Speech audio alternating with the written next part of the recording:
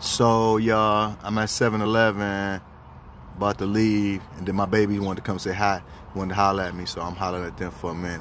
Hey, yeah, my boy said, hey, hey, no, I'm good, y'all, I'm good. No, they, no, they calmed down, they weren't talking.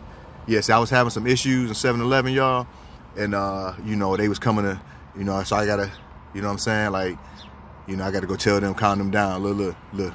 See, they was hot, nigga, look, they drinking water and everything, see, see, no, it's good, fellas, it's good, it's good. No, no, it's good. It's good. See, I got my motherfuckers up in the trees, the snipers and shit. Hey, y'all, it's good. It's good. It's good. Y'all go head back. Yeah, y'all. Yeah, this what happened, man. You, you fuck with the goose, man.